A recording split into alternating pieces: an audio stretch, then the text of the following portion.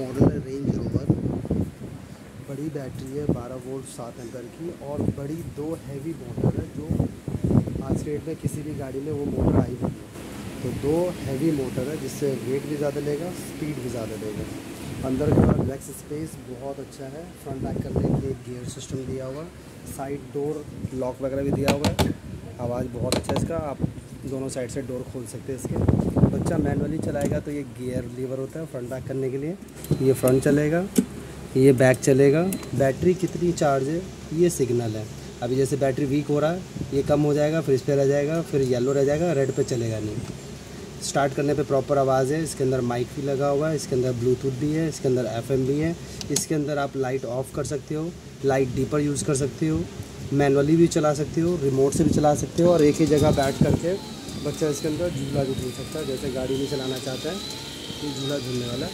Deeper light पहली बार आया हुआ डीपर लाइट हर गाड़ी में नहीं होता है और इसके व्हील में भी लाइट है, वो आपको सेल डालने के होगा। अगर आप सेल डालोगे तो व्हील की लाइट ऑन हो जाएगा, अगर सेल नहीं डालोगे तो नहीं होगा ऑन और हर टायर के ऊपर रबड़ है। नीचे से वायरिंग भी फुल्ली कवर्ड है। एक ही बार ओपन नहीं है, सारी बार कवर्ड है। और हर टायर के ऊपर रबड़ है, उखाड़ के चेक कर सकते हो। आगे भी शॉकर है, पीछे भी शॉकर है।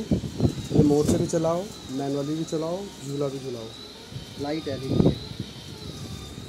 साइज़ काफ़ी बड़ा है। एक साल से सात आठ साल तक बच्चा आराम से बैठ सकता है। सीट इतनी चौड़ी है कि इसमें दो बच्चा आराम से बैठ सकता है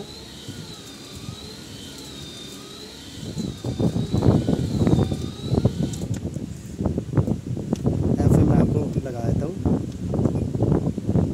इसके अंदर एफ़ एम भी है एफ़ एम सेटिंग हो रहा है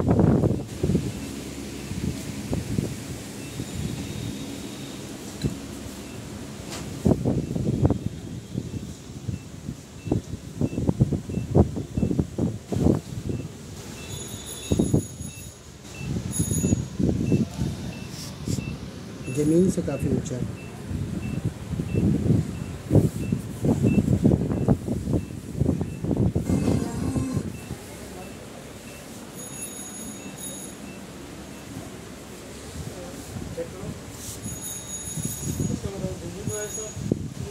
चिलावा ना जिसका